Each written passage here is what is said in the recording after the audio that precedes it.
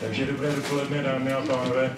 Protože je to pracovní konference, pracovní seminář a máme na ní relativně málo času, tak vás jenom velice srdečně přivítám. Jsem moc rád, že jste dorazili v takovém reprezentativním eh, složení. Eh, o počtu nemluvím, to prostě je dáno Evropou. Evropa má své limity i v tomto sále, takže, eh, takže jste tady, jak jste, ale za to ten výběr, jak říkám, je opravdu exkluzivní. Děkuji, že jste všichni přišli. Já bych se rád podržel toho programu, který vidíte za mnou a bude, bude skutečně dodržen eh, minimálně v té první půlce. Určitě program je takový, že zhruba do nějakých 11, 11, 15 bude první půlka v rámci které potom uděláme krátkou diskusi k vyslechnutým příspěvkům a v druhé půlce to tež skončíme 12.30. Eh, teď bych si dovolil předat, jednak uvítat velmi srdečně mezi námi děkana fakulty mass médií, pana Evropské vysoké školy, pana profesora Lajkerta, který je jedním z těch dominantních pořadatelů, kromě samozřejmě pana europoslance Petra Macha, který promluví za chviličku po Skypeu, protože v Bruselu, ale úplně úvodní slovo bych předal panu profesoru Lajkertovi. Ďakujem pekne za slovo. Ja tak v krátkosti som si napísal niekoľko úvodných slov. Takže ctené dámy, ctení páni, téma našej konferencie je dnes viac než aktuálna. O tom nie je pochyb. Alebo sa mýlim?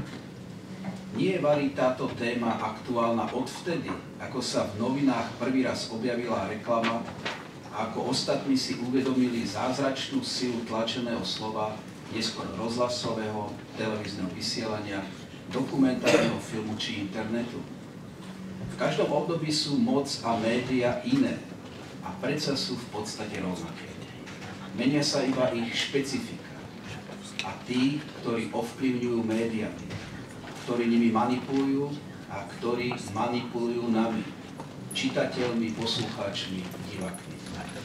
Nehovoriac o dopadoch, čo sa nás všetkých dotýka bez rozdielu, či sme bohatí alebo chudobní, či sme pri moci alebo zajatí moci. Je to len čas problémov, o ktorých chceme na dnešnej konferencie hovoriť. Čas tém, nad ktorými sa budeme zamýšľať a čas otázok, na ktoré budeme hľadať odpovede. Žiadna konferencia, ani táto naša, problémy nevyrieši len sa môže pokúsiť pomenovať súčasný stav, situáciu a podľa možností naznačiť, aké také riešenie. V mnohom som pesimista, lebo sa mi zdá, že valcom, čo nás priam zatlača do zeme, nepohne. Aspoň v súčasnosti. Ale skutočne nemáme síl, možnosti niečo zmeniť, napraviť. Nevieme to, alebo to nechceme. Naša konferencia má v názve dve základné slova. Média a moc. Nie sú oddelené čiarkami, pomlčkami ani inými interpunkčnými znamienkami. Je medzi nimi vložené čarovné A, čo znamená, že obe tieto slova sú rovnocenné. Neviem, možno by sa viac hodilo medzi ne znamienko rovnosti. Média rovná sa moc. Moc rovná sa média. A čo tak prehodiť poradie týchto slov? Akokoľvek, akokoľvek ich premiesnime, stále je význam ten istý. A nie iba tým, že začínajú písmenom M. Navyše média a moc do seba zapadajú lepšie než ozubené kolesa, ktoré kedykoľvek môžu rozhýbať stroje, ba čo viac, roztočiť celú mašinériu. Čo s tým?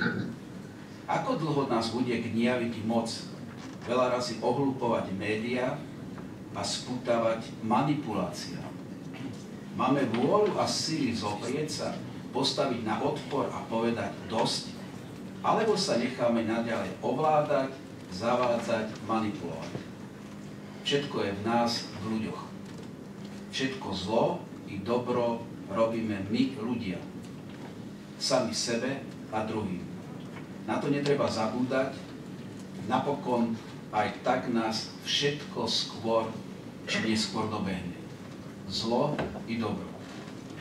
Ďakujem všetkým, ktorí na dnešnej konferencii vystúpia. Ďakujem aj ostatným, ktorí ste prišli na toto milé stretnutie. Prajem príjemné a múdre uvažovanie, milí kolegovia a milí priatelia. Hovorme, počúvajme a navzájom analýzujme. Nahlas i potichu. A nebojme sa vyrieknúť názor, za ktorý nás nemusia vždy chváliť a tlieskať nám. Ostaňme sami sebou. Buďme úprimní, presvedčiví, lebo to sú najlepšie zbranie voči moci a nie len voči médiám. Takže ďakujem pekne na úvod.